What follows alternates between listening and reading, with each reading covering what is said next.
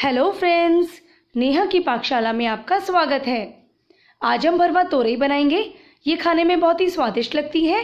आप इसे पूड़ी, पराठे, रोटी किसी के साथ भी खा सकते हैं।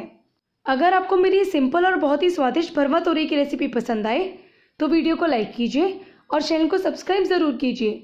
लेटेस्ट अपडेट्स सबसे पहले पाने के लिए बेल आइकन को प्रेस करना बिल्कुल भी न भूलें। और अगर आप मेरे चैनल को सब्सक्राइब कर चुके हैं तो प्लीज़ बेल आइकन को ज़रूर प्रेस कीजिए। जिससे कि आपको मेरे हर वीडियो का नोटिफिकेशन मिल सके। अब आप मेरे सारे वीडियोस को एक ही जगह मेरी वेबसाइट www.nehakipakshala.com पर भी देख सकते हैं। तो चलिए, हम भरवा तोरई बनाना शुरू करते हैं।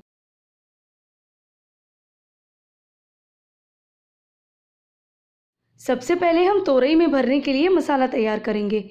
उसके लिए मैंने लिया है चार बड़े चम्मच सौंफ, आधी बड़ी चम्मच हल्दी, दो चुटकी हींग दो बड़े चम्मच धनिया पाउडर, एक बड़ा चम्मच जीरा, दो बड़े चम्मच अमचूर पाउडर, एक छोटी चम्मच लाल मिर्च पाउडर, एक छोटी चम्मच नमक और एक छोटी चम्मच जिंजर चिली पेस्ट लिया है। यहाँ पर हमने जीरा और सौंफ को ड्राई रोस्ट करके लिया है। नमक और मिर्च आप अपने टेस्ट के अकॉर्डिंग एडजस्ट करें। आमचूर की जगह आप एक मीडियम साइज़ के कच्चे आम का भी इस्तेमाल कर सकते हैं। एक मिक्सर जार लेंगे, उसमें हम सारे मसाले डाल देंगे।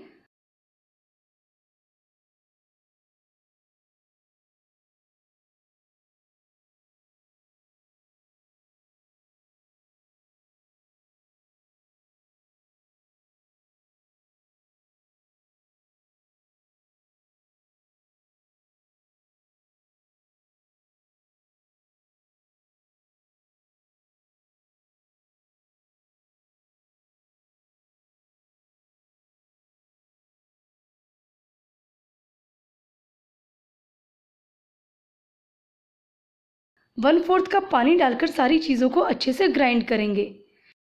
सारी चीज़ें अच्छे से ग्राइंड हो गई हैं और तोरई में भरने के लिए मसाला बिल्कुल तैयार है। ये मैंने एक के जी तोरई ली है, जिसे कि मैंने अच्छे से धोकर छील लिया है। अब हम तोरई के टुकड़े कर लेंगे इस तरीके से, क्योंकि इनका साइज़ काफ़ी बड़ा है। अगर तोरई का साइज़ छोटा हो तो उसके टुकड़े करने की ज़रूरत नहीं है। एक तोरई के दो या तीन टुकड़े कर लें। सारी तोरई के हमने टुकड़े कर लिए हैं अब हम इसमें इस तरीके से चीरा लगा लेंगे, जिससे कि इसमें अच्छे से मसाला भरा जा सके। ये नीचे से जुड़ी रहनी चाहिए। बिल्कुल नीचे तक हमें इसे नहीं काटना है।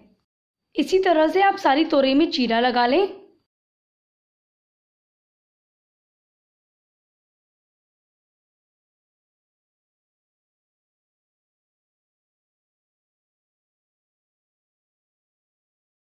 तोरई में चीरा लगाने के बाद अब हम इसमें मसाला भरेंगे जो कि हमने तैयार करके रखा है।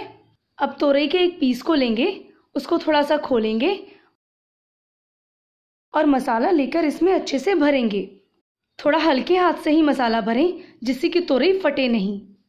अच्छे से दबा दबा कर अंदर तक मसाला भरेंगे।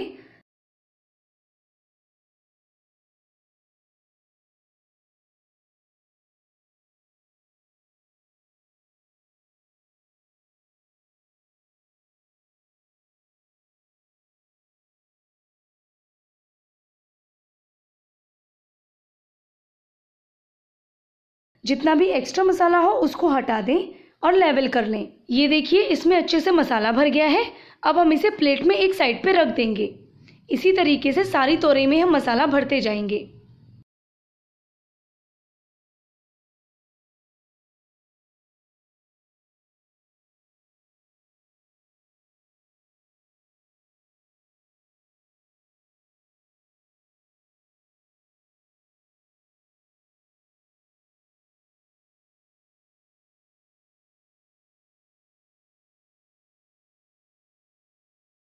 सारी तोरई में हमने मसाला भर लिया है।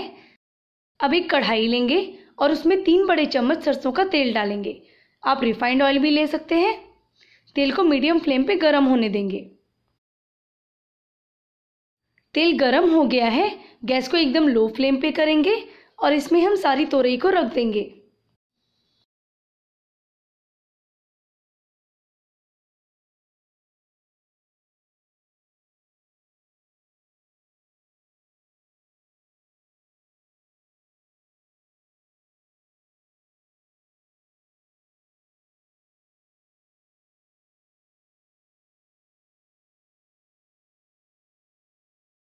अब इसे ढक देंगे और एकदम लो फ्लेम पर ही पाँच मिनट के लिए इसे पकने देंगे। पाँच मिनट हो गए हैं, अब हम ढक्कन को हटाएँगे। तोरई ने पानी छोड़ना शुरू कर दिया है, अब हम इनको हल्के हाथ से चला लेंगे, थोड़ा ऊपर नीचे कर लेंगे और गैस को मीडियम लो करेंगे।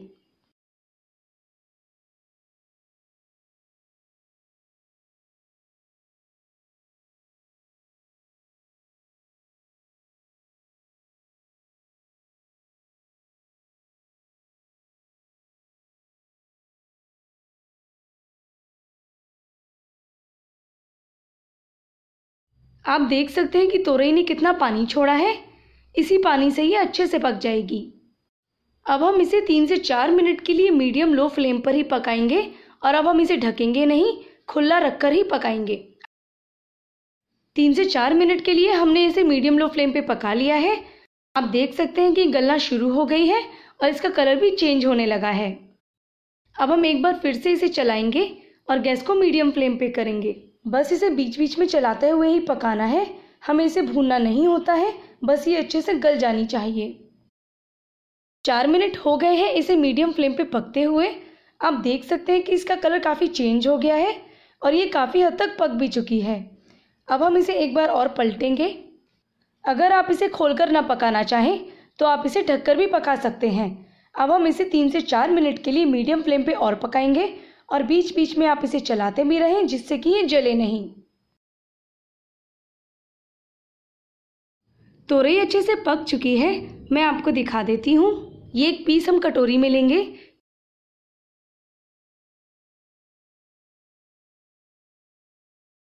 इसे हम काट रहे हैं तो ये देखिए कितनी आसानी से कट रही है। इसका मतलब कि अच्छे से पक चुकी है।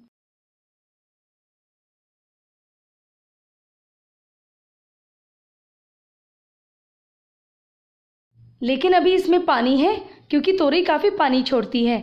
तो हम गैस को करेंगे हाई फ्लेम पे और इसको चलाते हुए इसका पूरा पानी सुखा देंगे।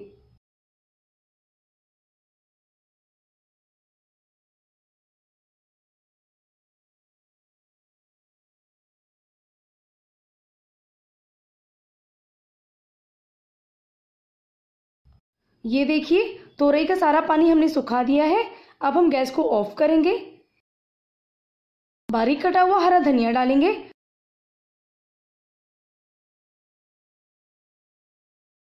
और मिक्स करेंगे।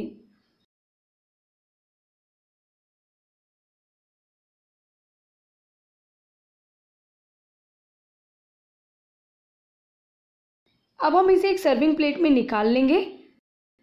थोड़ा सा इसे बारीक कटे हुए हरे धनिए से गार्निश करेंगे।